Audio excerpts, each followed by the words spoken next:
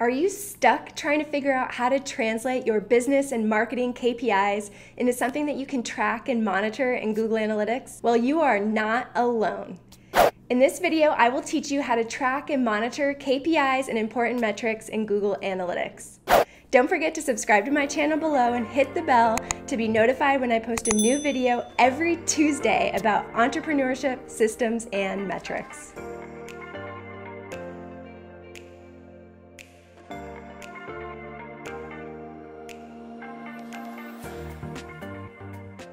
As a business owner, you know just how important it is to set and track KPIs for your business so that you can understand how it's performing and how to grow it effectively. KPIs are important across your entire business, but especially so for anything that relates to sales, marketing, or customer service. Sometimes business owners have trouble setting up Google Analytics to best track and monitor their most important metrics and KPIs.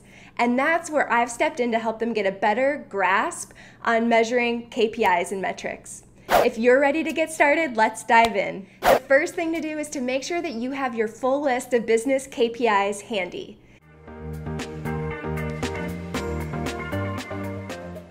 KPIs are the three to five most important metrics in your business. The ones that you could just look at on their own in isolation and have a good idea about how your business is doing at the highest level. Once you've got your KPIs list out in front of you, make a note about which ones can be tracked directly on your website.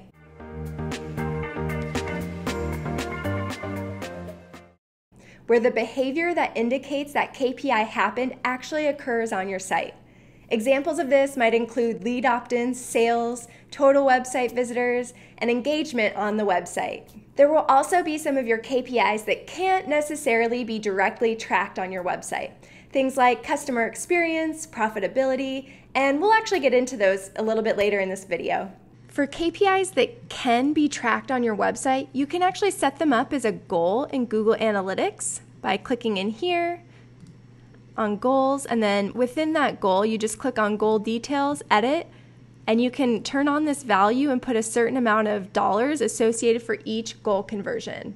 So if you have revenue associated with a certain KPI, make sure that you add this value to your goal. Google Analytics will keep track of the value or revenue associated with each goal for you.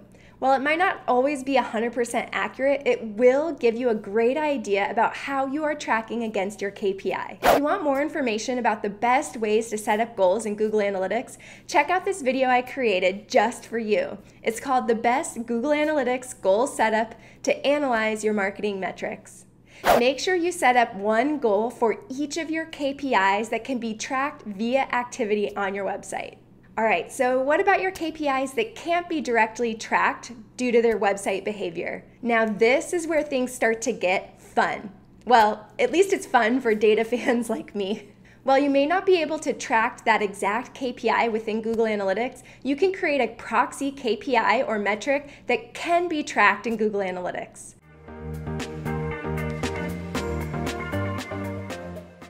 This is important because it'll help you see realistic, nearly real-time performance of all your KPIs in one place. It'll help you keep a pulse on your entire business rather than having some KPIs tracked over here and some others over here, and then them possibly being reported in different time frames. It'll all be in one place. So I know this might be really hard to wrap your head around right now, so I'm gonna take you through an example. Let's say you have a KPI that's based on customer satisfaction.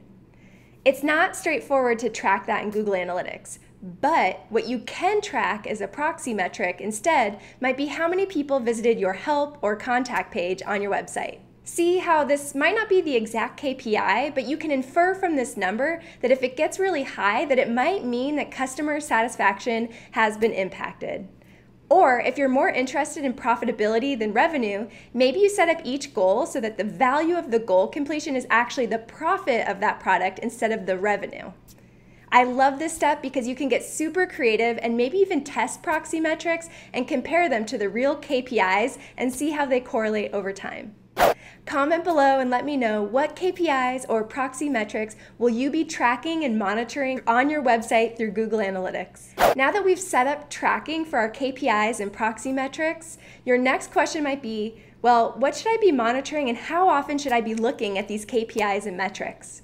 I recommend starting by monitoring your KPIs and metrics on at least a weekly basis to start.